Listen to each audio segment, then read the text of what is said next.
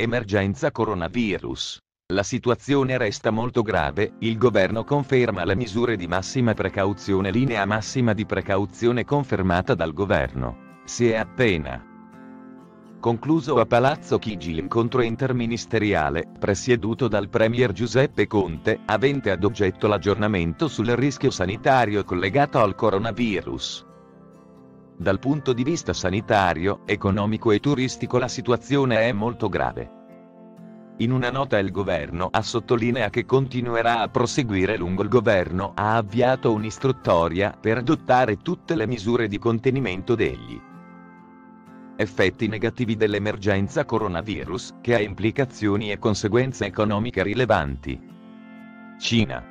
Speriamo che l'Italia non prenda misure eccessive come si evince dal Sole 24 ore, la Cina lancia il suo monito. È lo stesso portavoce del Ministero degli Esteri, Jen Xuan, a chiarire il fatto che, dopo lo scoppio dell'epidemia coronavirus, il governo cinese ha adottato tutte le misure di prevenzione e controllo più complete e rigorose possibili.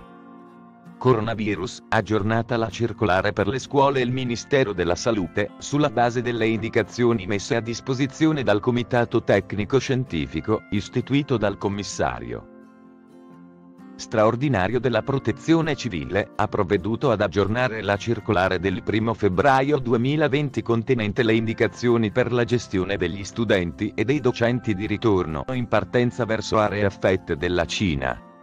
In linea con il principio di massima precauzione sancito e ribadito dal governo stesso, nelle prossime settimane è previsto il rientro degli studenti che si trovano attualmente in Cina.